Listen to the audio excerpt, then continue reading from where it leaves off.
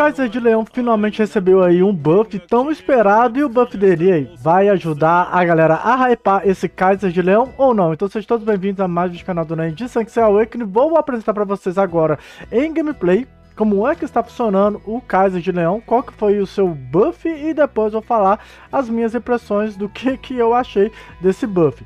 Então ele recebeu na sua skill 3 e na sua skill 4, né?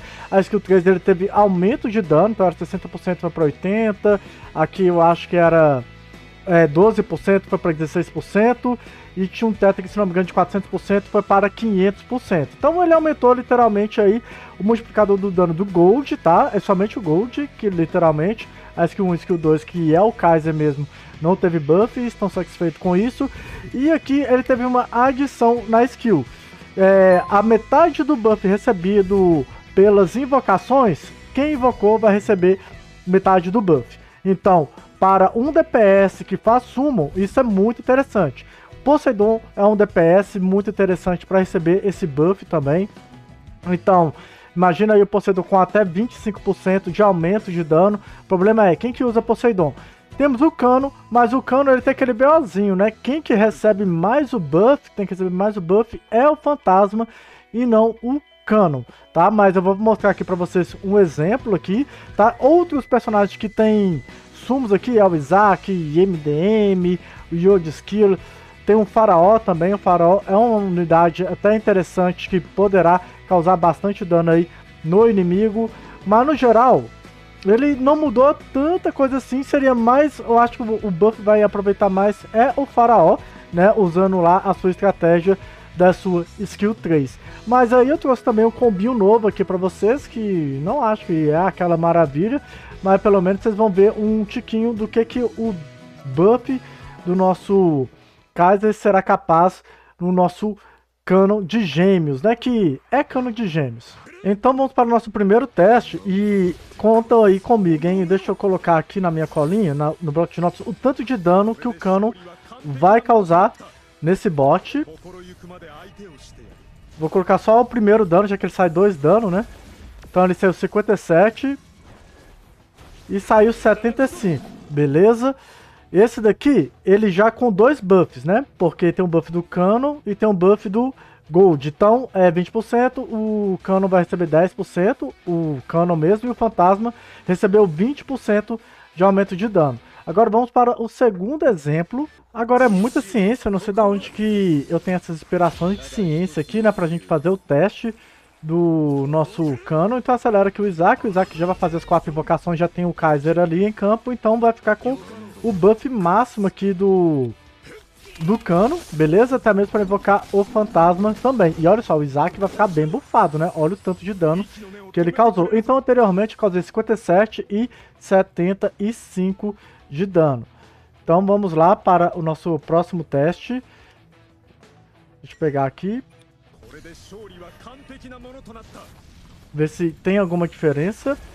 Foi para 65 e 93 né? Então, eu vou pegar aqui a calculadora, 57 dividido por 65 vai dar um aumento de 13% no primeiro hit do cano, e no só que no outro ele tá com um stack, agora ele tá com 5, né? Ele era não, ele não tinha dois stack, porque ele dá o primeiro ataque, não, ele já tá com dois stacks sim, tô viajando. Vamos sair daqui agora. E agora eu vou mostrar, fazer a calculadora aqui, mostrar 65 dividido por 93 vai dar 60, 70% e deu 30% do aumento do dano do cano nesse exemplo, nessa situação que eu apresentei para você. É um combo interessante, obviamente o primeiro hit não favorece tanto o canon assim, mas esse combinho de ter muitos é, personagens com invocação em campo, que lembra que eu no último vídeo falei, ah gente, eu não sei se vai aumentar muito o dano do, do Kaiser com muitas invocações, e sim, vai aumentar. Então, um MDM, um Isaac, né, vai dar para fazer um, um certos estragos aqui no inimigo. Então, eu fiz uma build aqui bem kamikaze, aqui só para vocês verem esse combo em ação, para vocês verem também a destruição que o Canon vai fazer. Eu perdi? Eu perdi. É né, porque a gente está enfrentando Thanatos, a gente está enfrentando uma Serafina, a gente está usando o Isaac uma Luna, né? Mas é só para vocês verem o estrago que que o Canon é capaz de fazer com essa build aqui. Deixa eu acelerar vezes 3 aqui, que não tem nada de inovador que eu não tenha mostrado pra vocês. Então o Defteros acelera ali o Isaac. Aí, ó, o... O Kaiser, olha, o Isaac, o Isaac a custo zero, né? Isso aí é um dano a custo zero que o Isaac fez com, com Gold. E aí já ataca aqui, ó. E olha o segundo hit. Galera, reparem no segundo hit. Olha o dano desse segundo hit do cano. Isso será um combo muito forte. Só que aí o cara ah, estragou minha vida com, com a Marechal ali, fazendo essa invocação e... A Serafina, né, é uma build de congelamento assim, 100% taxa de congelamento, então se eu tivesse aí a minha aluna descongelado, teria uma oportunidade melhor, mas o outro ali rebentou todos os meus meus buffs. E aí eu dei um regaço aqui nele, mas infelizmente precisava aí do duplo turno da Luna.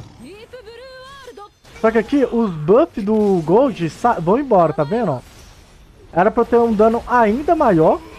Só que como os tentáculos do Kraken faleceram, aí não deu pro meu cano ainda ser mais destrutivo do que ele já foi.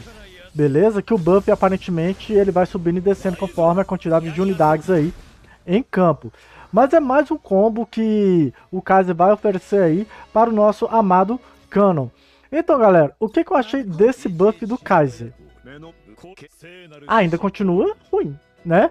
Mas é aquela, aquela coisa, né? A GT Tencent, né? Ela mexeu no Kaiser. Eu acredito que a qualquer momento eles podem, podem né, lançar um novo personagem com essa temática de invocações. E se ele tiver ainda um número de invocações satisfatória, vai buffar ainda mais o cano. No momento, ele vai ser for fun, dá pra fazer umas builds bem meh, assim, igual eu mostrei aqui com o Isaac. Com certeza vou trazer isso aí no DG para vocês. Ele ainda não está no banner.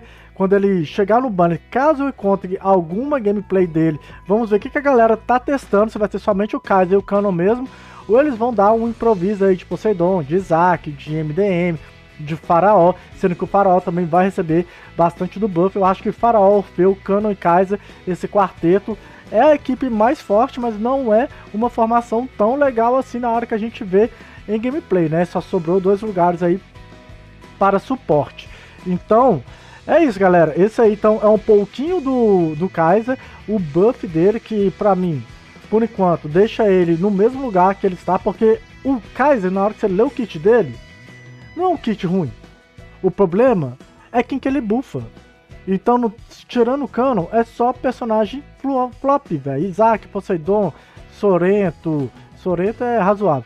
É, no caso, quem mais aqui? Um MDM é só personagem flop. Precisa de personagens OP pro Kaiser ficar mais interessante aí pra gente utilizar. Então ele vai ser aquele tipo de personagem que a minha expectativa é que daqui a alguns meses, né, na medida que eles forem lançando unidades novas, ele pode se fortalecer. Só depende de algum summoner se tornar meta aqui no game, beleza? Então é isso, vou ficando por aqui. Comenta aí se você tem alguma outra inspiração aí sobre o Kaiser, porque realmente o que eu pensei aqui do combinho do cano foi o que eu melhor pensei aqui para trazer para vocês. Ficou até legal, mas, pô, o Isaac é muito papel, né? Mas eu vou testar isso aí no DG com certeza. Vou ficando por aqui, a gente se vê então no próximo vídeo, valeu e fui!